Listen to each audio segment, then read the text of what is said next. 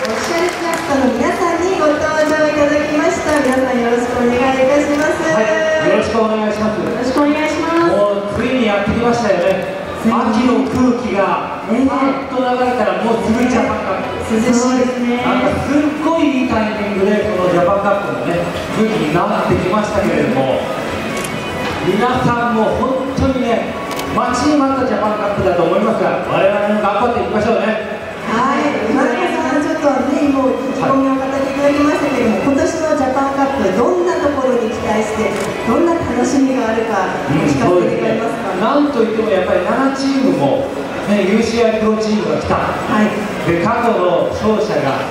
5人も来てるってものすごいことじゃないですか、ね、あのもちろん2で活躍したようなね、ええ。あの後ほど登場しますがリッチー・ポートのようなね選手もいますしそして日本人もねこれまで2位3位になってますが過去に阿部君という優勝者も出ましたけどそんなところがね、はい。本当にどういう戦いになるのか今からものすごい注目ですね。なるほどね。毎年盛り上がってますけど今年はさらに盛り上がるということですよね。間違いないです。はい。白戸さんいかがでしょうか？はい、えー、今中さんが打ち合わせもしないのにこんなに喋ってびっくりしてたんですけどね。そうなんですよ。あのね今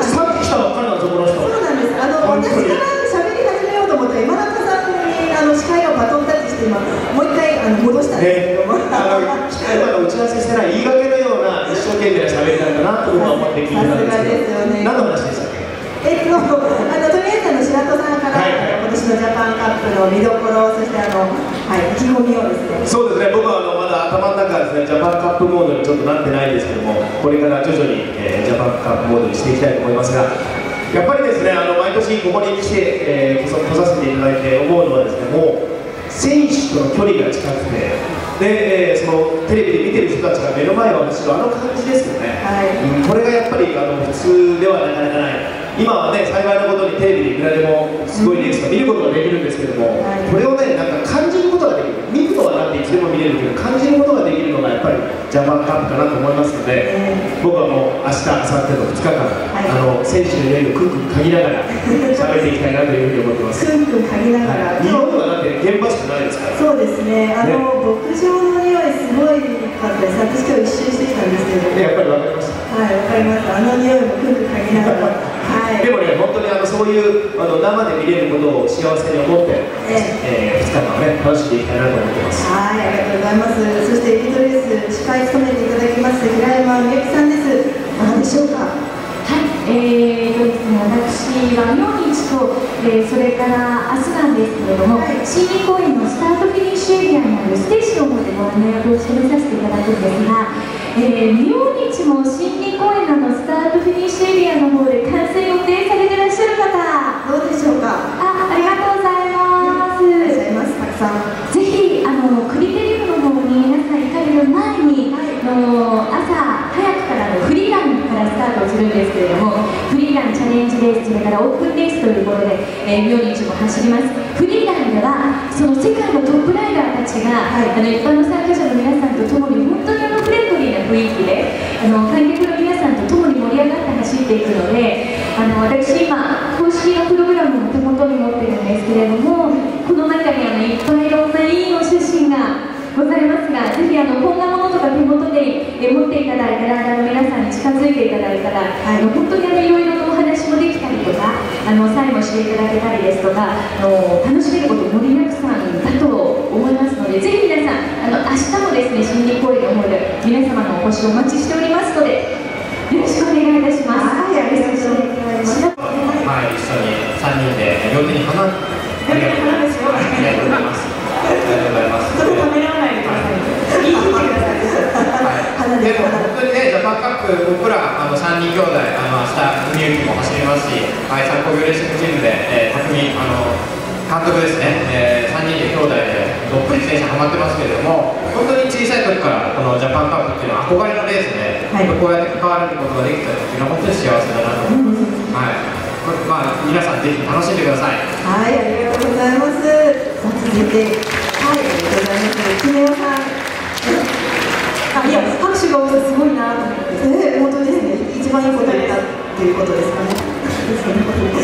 さん、いかがでしょうか？ね、皆さんも毎年参加参加というか、あの、来ていらっしゃいますけれども。そうですね。はい、あの、先ほど栗浦さんからもお話があったんですけど、ジャパンカップを迎える宇都宮が。年々盛り上がりのヒートアップ度が上がっていくんですよ。今こう振り返っていただいても、あちこちにこう、宇都宮を赤く染めようみたいなバナーがあったりして。宇都宮がこう、ロードレース一色に週末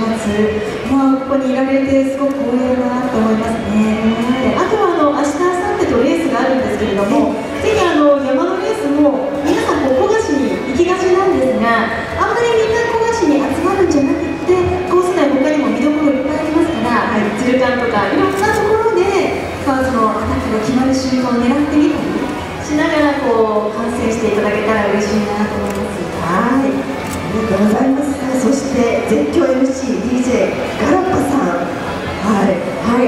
宮の皆さんの中にも初めましての方もいらっしゃるかもしれません。DJ ガラパと申します。皆さんよろしくお願いします。ありがとうあの初宇都宮ということであの私ちょっとフェイスブックにも書いてたんですけど実は初めてじゃなくてですね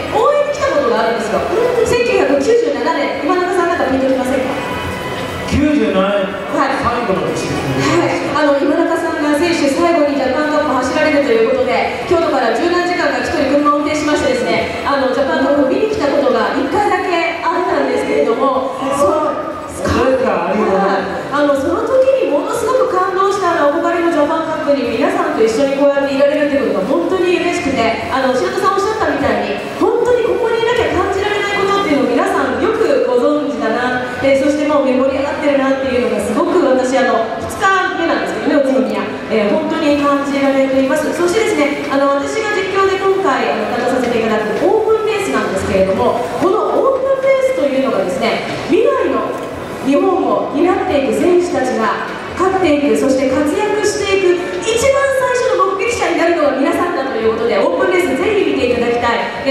えー7年後の、ね、オリンピックも決まりましたけれどもこのオープンレースで勝っていく選手たちがきっとこれからまたジャパンカップのそのもちろん、ね、レースの方でも活躍してくれるということでこれをぜひ見届けていただきたいと思いますのでオープンレースの方もぜひ注目してください。はい、ということでね、本当にあのそれぞれありがとうございます。それぞれ皆さんがいろんなところにいらっしゃいますので、どうぞあのあの気さくな皆さんなので声をかけてあの写真でも大丈夫ですかね？はい、ということでよろしくお願いいたします。というオフィシャルキャストの皆さんで今年の